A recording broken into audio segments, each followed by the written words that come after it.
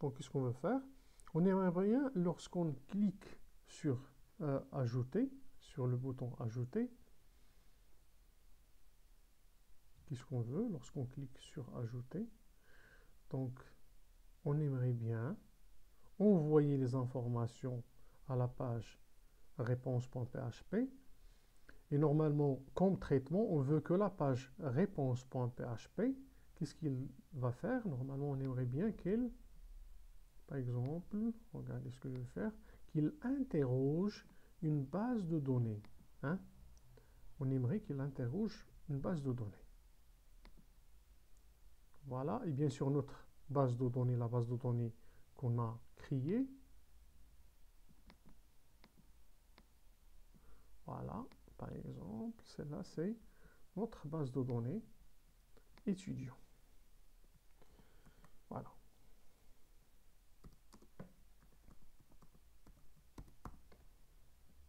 Voilà. Allons-y, donc on va commencer ce travail. Donc là, je vais créer son euh, devoir tarder. Donc je vais créer CTRL S une page que je vais nommer response.php response.php et c'est elle qui va traiter nos données. Voilà. Donc, ce que je vais faire en fait, je vais créer, on va travailler via le PHP. Allons-y.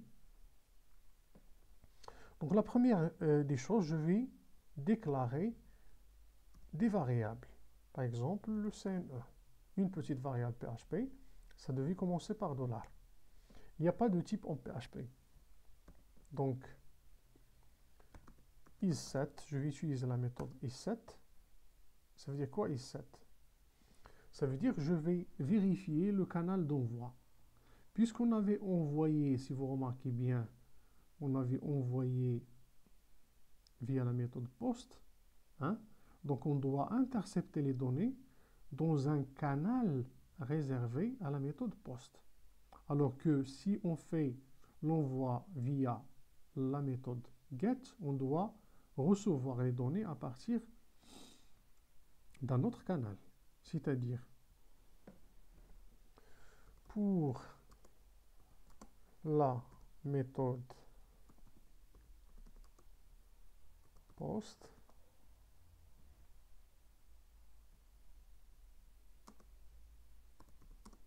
il y a un canal réservé. Qui est quoi? Qui dollar dollar voilà poste Ça, c'est le, normalement le canal réservé. Hein? C'est un tableau, c'est un dictionnaire qui contient l'ensemble des choses qui ont été envoyées, mais via quoi? Via la méthode POST. Alors euh, que c'est on fait l'envoi via le, GET, hein? regardez bien, si on fait l'envoi via la méthode GET, on va intercepter les informations dans un autre canal qui est le get, le canal get. Et c'est quoi en fait ce canal get? Tout simplement, c'est un tableau, mais ça n'empêche, c'est une collection qui peut travailler à la fois via les indices ou via hein, les keys, via les clés. Vous pouvez utiliser ce que vous voulez. Mais vous devez respecter l'ordre. Regardez ce que je vais faire. Maintenant, je vais tester est-ce que une information nommée, regardez, dollar, poste. Je vais lui demander est-ce qu'il y a une information nommée CNE dans ce canal. Et 7. Est-ce que dans le canal poste, il existe une information, là, une variable nommée CNE S'il existe, donc question, s'il existe, dans ce cas, on aimerait initialiser notre variable PHP $CNE avec la valeur qui contient ce canal. Voilà. Sinon, on aimerait réinitialiser, euh, ou la initialiser plutôt notre CNE, dollar CNE via moins 1. Donc, euh, qu'est-ce que ça veut dire moins 1 Quand est-ce qu'on aura moins 1 dans notre variable PHP s'il ne trouve pas l'information CNE dans le canal post, dans la, la collection post. De même, on va refaire la même chose pour les autres informations. Pour le nom, par exemple, s'il y a, donc on va initialiser notre variable via le nom. Sinon, s'il ne le trouve pas, on va l'initialiser par, par exemple, la chaîne vide. De même pour la date de naissance, la date de naissance, s'il le trouve, voilà, il va l'initialiser avec sa valeur, sinon, il va l'initialiser par une chaîne de caractères, par exemple 00, 00 et 40. Voilà. Très bien. Qu'est-ce qu'on a fait maintenant? On a essayé d'intercepter les valeurs qui ont été saisies par les utilisateurs, qui ont été envoyées à partir de notre petit formulaire. Hein. Et là, si vous remarquez bien, on avait fait une petite, même, une petite validation de notre formulaire. Déjà, les informations euh, à les champs, elles sont obligatoires. Euh, puisqu'on a utilisé le type number, donc il ne peut pas taper autre chose que les nombres, que les chiffres. Euh, quoi d'autre? Et puisqu'on a utilisé le type date, déjà le type date, un composant d'HTML5, c'est un, un, type euh, nouveau de HTML, qui a un, design très joli, puisqu'il m'affiche le calendrier pour choisir la date, d'une part, d'autre part, il contient une vérification. Ça veut dire quoi? Ça veut dire si la, date n'est pas valide, il ne va pas accepter n'importe quelle date. Voilà, donc là, on a en même temps fait le contrôle au niveau du client. Et là, on a intercepté ces informations lorsque euh, l'utilisateur il va les envoyer, on les a interceptés. Les voilà. Maintenant, l'objectif, en fait, c'est quoi? L'objectif, c'est d'insérer les informations qui ont été envoyées dans la table étudiant. Alors, déjà, on doit tester ce qu'il n'y a pas de problème de communication. C'est pour cela je vais tester si mon dollar CNE égale égal à moins 1, ça veut dire un problème de communication. And si mon dollar, par exemple, non égal égal à la chaîne vide, and ma date de naissance dollar dn égale égal à cette chaîne de caractères, là il y a un petit problème de communication. Sinon, else ça veut dire quoi un problème de communication? Ça veut dire que les informations ont été envoyées via un autre canal et pas le canal post. Donc, pour nous, on va, on va voir comment on va gérer euh, ce bloc d'instruction hein, pour notre bien. Donc déjà, ce qui nous intéresse pour le moment, c'est ce bloc-là. C'est-à-dire que les informations, qu'il y a des informations au niveau du CNE, du nom et de la date de naissance. Très bien. Regardez ce que je vais faire. Normalement, euh, l'objectif, c'est de communiquer, ou de faire un accès à la base de données MySQL. Donc, je vais vous montrer une méthode très très simple pour accéder à la base de données. Mais on a un petit code qui, normalement, qui doit être euh, répété chaque fois. Au niveau de l'insertion, au niveau de la modification, la suppression, chaque fois on a besoin de répéter des choses. Comme quoi Déjà là, regardez ce que je vais faire. Je vais créer un ensemble de variables pour simplifier la tâche. Le premier variable, je vais le, nommer serveur. Et notre serveur, puisqu'on travaille là d'une manière locale, hein, notre serveur c'est quoi? C'est localhost. Voilà, localhost. Point virgule. on a besoin de l'utilisateur qui, qui, qui, normalement, euh, ça veut dire quoi l'utilisateur? Ça veut dire celui qui veut accéder à la base de données. Ce n'est pas le client, ce n'est pas l'utilisateur de l'application, mais c'est le programmeur. Donc c'est root. Si vous faites l'installation par défaut de WAMP Server, la EasyPHP ou la XAMPP, donc l'utilisateur par défaut, c'est root. Quoi d'autre? PW, c'est le mot de passe. Le mot de passe par défaut, la même chose, c'est euh, la chaîne vide. On aura besoin autre, euh, d'une autre variable. C'est la base de données qu'on veut interroger. La base de données, c'est, on l'a nommé étudiant. Voilà, étudiant. Et là, ce que je vais faire maintenant, sur la base de ces informations, hein, et même quand on achète un nom de domaine et un espace dans lequel on veut héberger, ces informations, euh, l'hébergeur, le fournisseur normalement de, euh, de l'espace, il va nous fournir ces informations. Donc on n'a qu'à remplacer euh, ces informations locales par les informations à distance. Très bien. Donc sur la base de ces informations, on va établir la connexion avec la base de données. Regardez ce que je vais faire.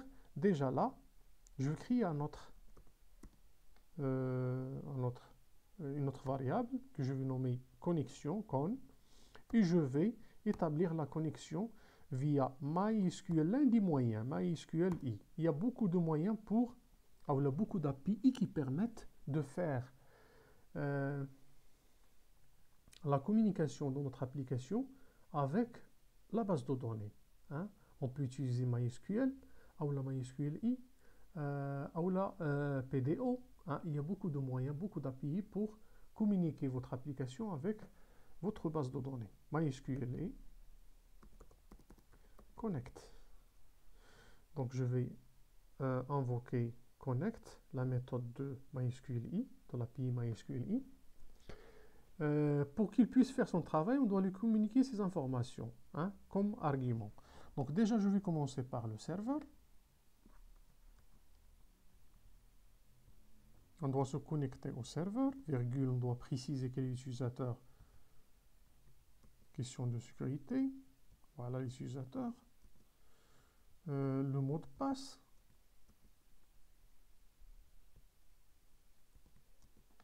Et dans une, bien sûr, dans notre compte, on peut avoir plusieurs bases de données. On va préciser quelle est la base de données qu'on veut interroger. C'est BD qui est étudiant avec S. Voilà. Donc là, déjà là, s'il n'y a pas de problème, on n'a pas raté quelque chose, il n'y aura pas de problème. Donc la connexion sera faite, hein, sera établie avec le serveur. Mais ça n'empêche, cette ligne-là, cette ligne -là, elle nécessite la gestion des exceptions. C'est pour cela Regardez, c'est une manière très simple pour gérer les exceptions. Or, il y a la méthode dit. Sinon, si vous n'arrivez pas à établir la connexion, vous devez m'afficher un message pour que je puisse savoir quel est le problème. Voilà, et là, on va préciser le message d'erreur. Je dirais par exemple, voilà, je vais créer une balise font auquel je vais donner la couleur voilà, maintenant rouge. Et mon message c'est erreur. Quelle est cette erreur maintenant Impossible d'établir établir la connexion avec la base de données. Voilà. Voilà notre message. Donc, je vais le glisser dans notre fonction dit. C'est-à-dire que si on a un problème euh, de connexion avec la ressource demandée qui est étudiant, hein, euh, il va nous afficher ce message via la fonte, euh, via la couleur rouge. Très bien. Mais un petit problème, c'est que chaque fois, je vais faire ce code pour établir la connexion pour l'ajout, je vais le refaire pour la modification. Et je vais le, refaire encore une fois pour lift et ainsi de suite. Pourquoi ne pas faire une chose C'est que je vais créer un fichier, regardez bien, dans lequel je vais copier ce code qui devra normalement être répété plusieurs fois. Voilà. Dans un bloc PHP. D'abord, on doit sauvegarder, enregistrer. Je vais le nommer connect.php. Donc, un fichier de connexion, par exemple. Et là, je vais ajouter un bloc PHP dans lequel je vais coller ces informations. Et comme ça, je ne vais pas les répéter plusieurs fois. Et chaque fois que j'aurai besoin de ce morceau de code, je peux l'appeler, regardez, via deux moyens. Soit on utilise include, la méthode include, hein, ou là, on utilise include, ou là, on utilise la méthode require.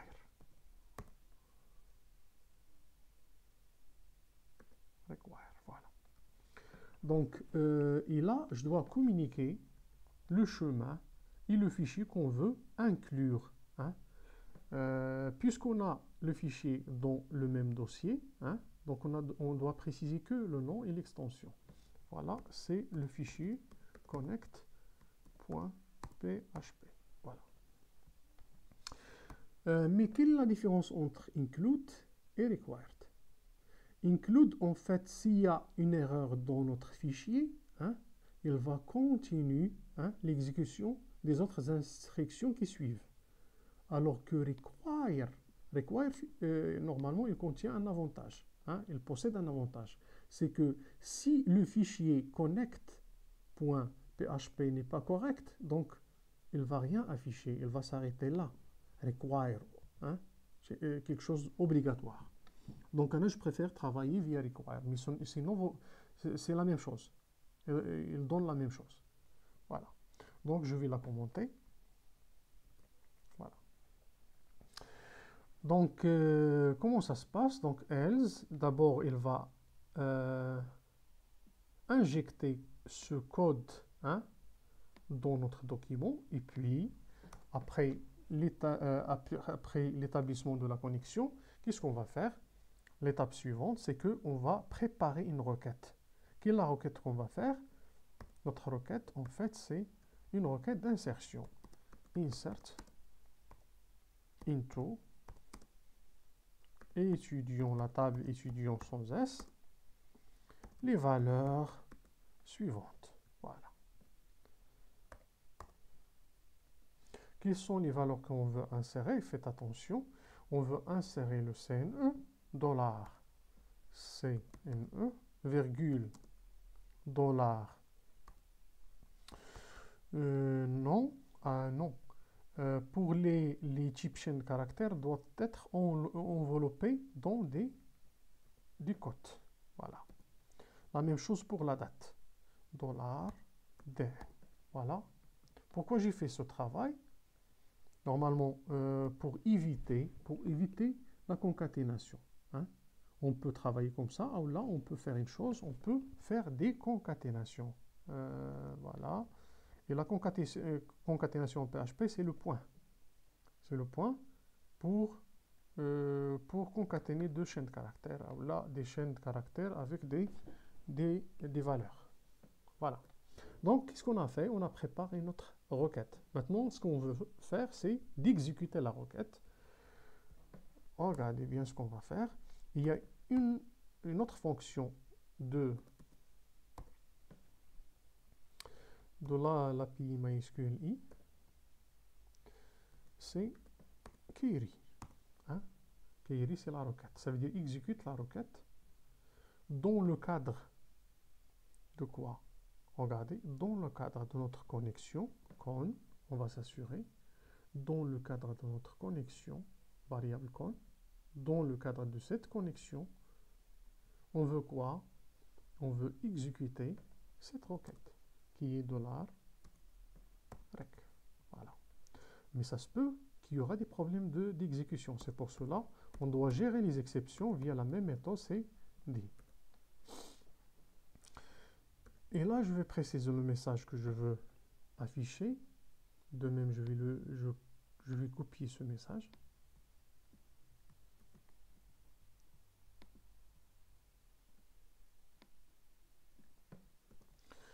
Message en rouge, oui, erreur, oui, impossible, par exemple, impossible, impossible de quoi? Impossible d'exécuter, impossible d'exécuter la requête, ou la l'ajout là, pour distinguer, il y a là la requête.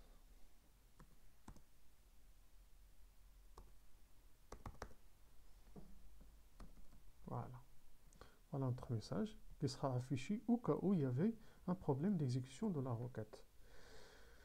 Quoi d'autre? Et finalement, on doit fermer my SQL i close. On va libérer les ressources qu'on a utilisées. Donc, je vais libérer cette connexion-là. Quelle connexion? C'est dollar dollar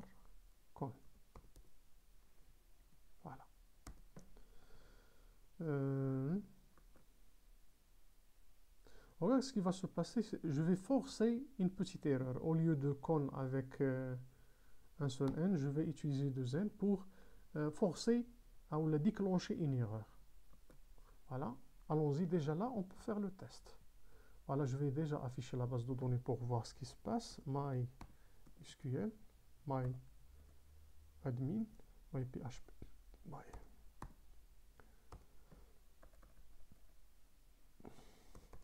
localhost et on va accéder à notre PHP MyAdmin. PHP MyAdmin.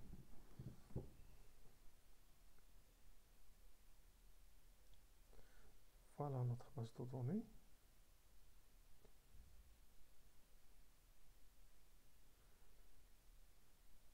Et voilà notre table.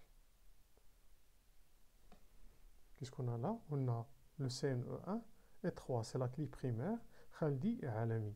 Allons-y, on va ajouter un autre. Donc, je vais actualiser. Donc, on veut ajouter deux qui est par exemple Mohamedi. La date de naissance. Ajouter. regardez là. Qu'est-ce qu'il me dit? Il me dit que normalement, il y a un problème au niveau de, de quoi? Uh, require require. Require. Et là un problème là réponse response.php qu'est-ce qu'on a fait? Response.php et là qu'est-ce qu'on a demandé? Response.php voilà donc il n'y a pas de problème là. Response. Connect require connect. On a un petit problème là. Connect, voilà. Je vais actualiser. Hop, oui, continue. Voilà, il me donne un problème de quoi? Regardez, impossible d'exécuter la requête. Pourquoi? Parce que c'est exprès que j'ai causé euh, une exception. Normalement, il me précise même la ligne où il se passe l'erreur. C'est la ligne 14. Regardez bien, on va aller à la ligne 14. Voilà, et on sait tous que l'erreur, c'est là. Voilà, CTRL S. Actualiser, continue, oui.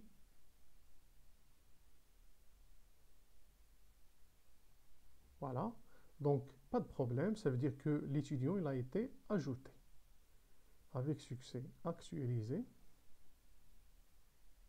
Regardez, notre Mohamedi, il a été ajouté avec succès. Mais normalement, il doit nous afficher un message pour qu'on puisse savoir que, euh, normalement, le, notre étudiant s'est ajouté avec succès. On a besoin d'un message ou d'une alerte